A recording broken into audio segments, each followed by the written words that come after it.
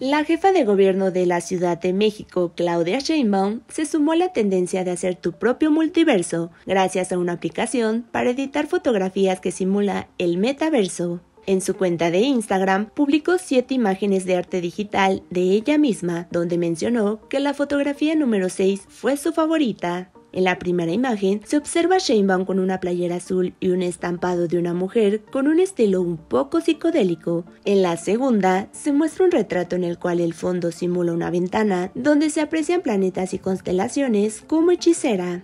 En la tercera, únicamente resalta su rostro y sus pupilas sumamente dilatadas. En la cuarta, se aprecia un fondo que simula ser estrellas y utiliza un atuendo llamativo en color dorado. En la quinta, se visualiza un retrato más formal de un saco rojo, playera blanca y una enorme sonrisa. Y en la siguiente foto menciona que es su favorita, pues el algoritmo de inteligencia artificial coloca a Sheinbaum en un bosque donde porta unos aretes de pluma y una chaqueta de cuero rojo.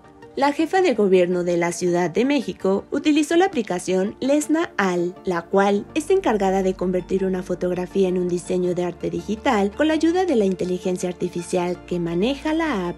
Esta aplicación fue lanzada en 2018 con la finalidad de ser un editor de fotografía, pero hace un mes una de sus funciones se hizo popular en todos lados. Esta situación no ha pasado desapercibida por servidores públicos mexicanos, puesto que compartieron en su cuenta de Instagram su retrato realizado en esta aplicación. Entre ellos se encuentra el gobernador de Nuevo León, Samuel García, el secretario de gobierno de la Ciudad de México, Martí Batres, el aspirante presidencial de Morena, Ricardo Monreal, el presidente de la mesa directiva de la Cámara de Diputados, Santiago Krill, la alcaldesa de Álvaro Obregón, Lía Limón, y la diputada federal por Morena, Andrea Chávez.